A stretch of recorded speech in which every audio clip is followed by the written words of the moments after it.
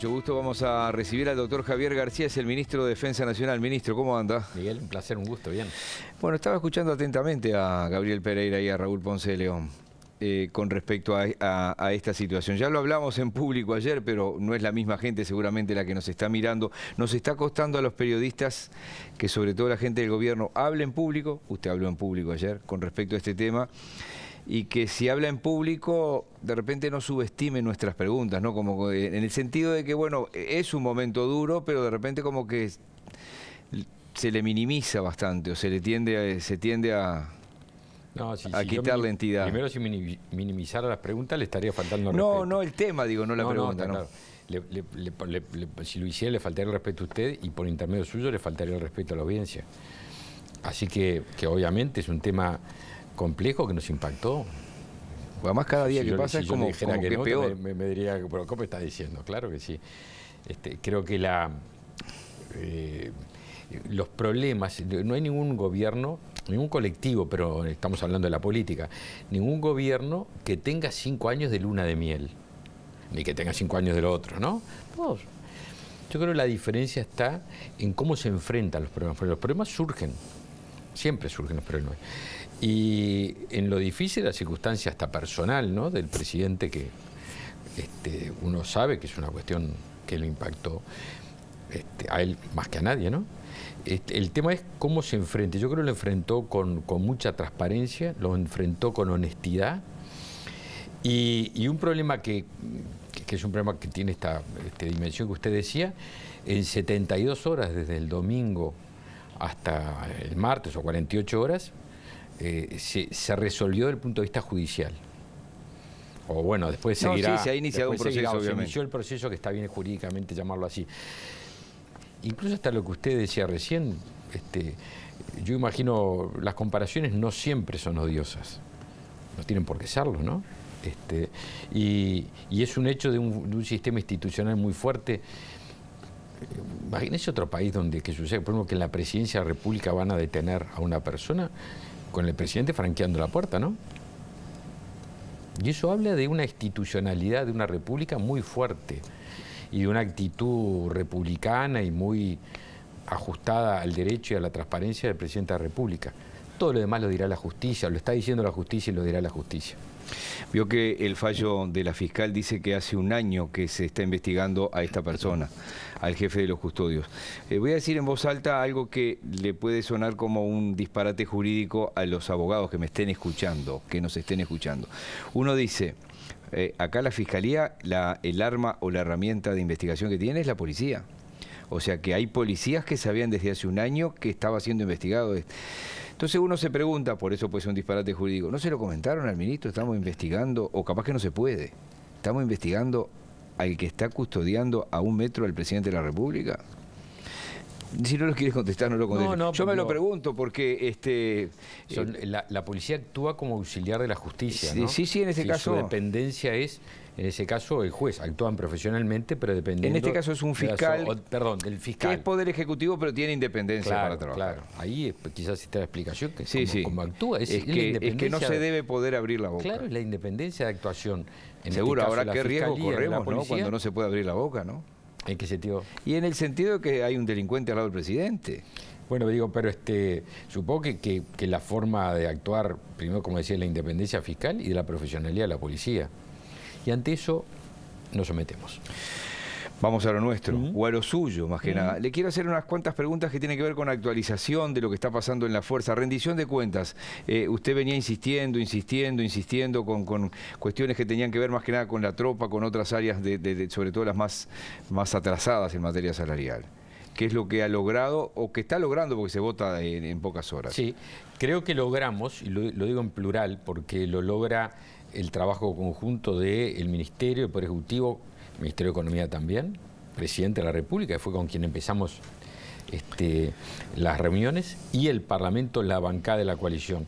Vamos a, lograr una recuperación salarial significativa para el personal de menor grado, para todo el personal subalterno y para los primeros cuatro grados de los oficiales, los más jóvenes. De, de, alférez a capitán, que va a estar en entorno para el soldado, porque va entre dos 8,6 y 7,8%. Obviamente privilegiando más a los más postergados, que es el personal subalterno y los soldados que van a tener ese 8%. Después así llega una escala que va decreciendo. Y, no es menor que la cifra, fíjese usted que estamos en dos años y medio de gobierno, esto va a regir a partir del primero de enero, así que casi en los tres años, va a significar un incremento salarial, una masa incremental de salario en estos tres años, con todo lo que vivió el Uruguay en materia sanitaria y económica, que ya supera ampliamente lo destinado en los cinco años previos, los cinco años anteriores. Así que estamos hablando que la pandemia no fue excusa para atender un compromiso que era un compromiso político y un compromiso de campaña, que era atender la jerarquización del personal de las Fuerzas Armadas, empezando por los soldados y la recuperación salarial. Lo empezamos en el presupuesto del 20, lo seguimos en la rendición de cuentas el año pasado y luego llevamos hasta ahora hasta esta rendición de cuentas. De los soldados, siguen siendo los soldados, el soldado raso es el que gana menos en la actividad pública. Sí. Es el sueldo más bajo de todo lo que Agradezco la pregunta porque para tener una idea hay que comparar. Fíjese, si usted toma un soldado de ingreso al 1 de marzo del 2020, un soldado de ingreso, con un funcionario administrativo de ingreso en cualquier ámbito de la administración central civil. Que entre en cualquier ministerio, en cualquier... El primer mes que van a cobrar su sueldo, esas dos, esos dos compatriotas con cargos de ingreso, el soldado, cuando nosotros ingresamos al gobierno, ganaba casi 40% menos de sueldo, 36%. Logramos en este, en este tiempo de gobierno reducir a 25% una reducción importante, este, porque antes la diferencia era muy grande. Hicimos así, arrimamos el bochín. Y, eso me parece que está muy bueno, porque habla de que son funcionarios, tanto uno como otros servidores públicos, que cumplen funciones dignas los dos y muy necesarias. Cualquiera que usted elija en una administración central civil y un soldado. Lo que pasa que había una cierta hipocresía que, que se vivía en Uruguay, era al soldado le pago poco, porque después el estímulo está en el retiro. Porque a los pocos años se jubilaba. Sí, no pocos años, pero, pero con un sistema diferencial. Pero la verdad es que, el salario es muy bajo. Hablemos, porque es un informativo y tengo poco tiempo. Diga. Hablemos del retiro en titulares, lo que hablaron con Saldain este, para el servicio de retiros y pensiones militares. La, mm, eh, reforma de, de, la seguridad social va a incluir lo que se llama caja militar, el servicio de retiros, y, y eso va a significar una reforma completa donde todo el sistema de seguridad social tiende a tener una lógica común, atendiendo que algunas particularidades que todas las profesiones tienen, la profesión militar tiene. Cuando nos reunimos con los comandantes y el jefe, el presidente de la comisión, Saldain, lo que se les explicó o profundizamos en algunas características particulares que se les envió al, al doctor Saldain y le puedo adelantar que mm, varias, lo veremos cuando diga el proyecto, pero estoy en conocimiento de que varias de esas particularidades que requerían modificar el anteproyecto original van a ser consideradas. El nuevo radar este que venía para el año que viene, Santa Bernardina, ¿eso es un hecho? ¿Se puede decir que sí? Sí, porque lo incluimos dentro de la, extensión de la concesión a la empresa que, que es concesionaria de Carrasco y Laguna del Sauce y que tomó seis aeropuertos del interior del país, que en el caso de Santa Bernardina, además de las obras de infraestructura, se incluyera un radar que va a suplir el que actualmente hay, que es un radar viejito y que nos está, nos está dando problemas. Y estamos hablando que de mediados del año que viene, por ejemplo. Segundo semestre del año que viene. Segundo semestre. Patrulleras, actualíceme porque sé que estaban viniendo. Eh, Navegando desde Estados Unidos, salieron hace 10 días, andan por, creo que en Puerto Rico o rumbo a Surinam, creo que salen hoy o mañana para Surinam. Y las tres patrullas fluviales y costeras que van a servir en la cuidado de nuestras costas acá en el río tanto de la Plata como en el río Uruguay y van a suplir a unos barcos ya muy, unas patrullas muy veteranas que, tenemos. La verdad que con esto, con estas tres embarcaciones vamos a tener una renovación importante de las embarcaciones de menor porte, digamos. Y vamos a trabajar, ya estamos trabajando para que a la brevedad podamos eh, terminar todo el proceso de, compra de dos patrulleros, no patrulleros, dos buques oceánicos, estamos hablando de, buques de 80 metros de eslora. La, queja, de Estados Unidos por la eventualidad de la compra de, embarcaciones chinas. Yo, no, se imagina, no trabajo por, por noticias de prensa, con el respeto que le ustedes tengo. no, no, no.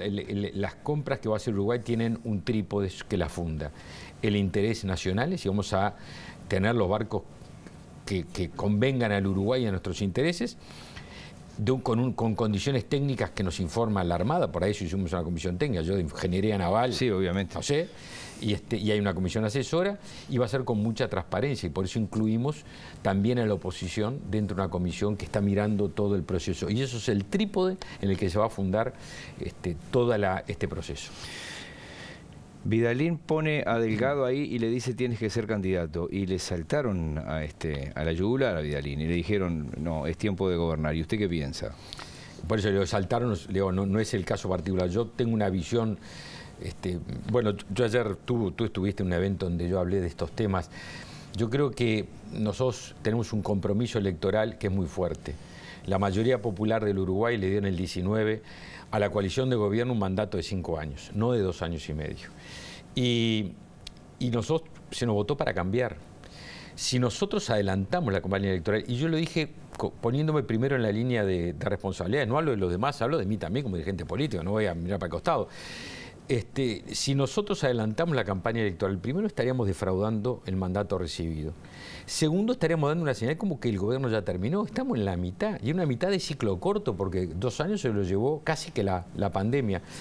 Pero además, este, cometeríamos un, un, error eh, político, debilitaríamos la acción de gobierno, porque si se está en la campaña. Y cuarto, el mejor programa. Presidente de la República, que es un gran líder popular, sino el, el, mayor líder popular, según lo que dicen las encuestas que tiene Uruguay, y la verdad que está en otro escalón, ha demostrado estar muy superior a todo el resto. Este, si nosotros que no vamos a tener al presidente de la República como candidato, ¿cuál va a ser nuestra, nuestra invitación? O mejor dicho, ¿cuál es nuestra mejor carta de presentación? Una buena gestión, mostrar lo bueno hecho. Ahora, si empezamos dos años y medio, me parece que cometemos un error.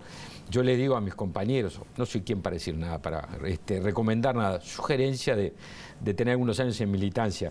Calmemos las ansiedades electorales, no es tiempo de elecciones, es tiempo de gobierno. La última, de todos modos, cuando se ve en una encuesta como posibles precandidatos presidenciales, ¿cómo le cae? No, no, no, contrato encuestas y, No, digo por la adopción de anoche en Canal 4, por ejemplo. Que... Este, y yo me dedico a trabajar. El día que me dedique a hacer campaña electoral, este, porque soy militante de un partido hace muchos años, y, voy a defender a mi partido y a la gestión del gobierno, ese día no estaré en el, ministerio. Mientras yo esté en el ministerio, mi, mi cabeza, mi foco está puesto en la gestión del gobierno. Ministro, gracias por hoy. ¿eh? A ti, Miguel.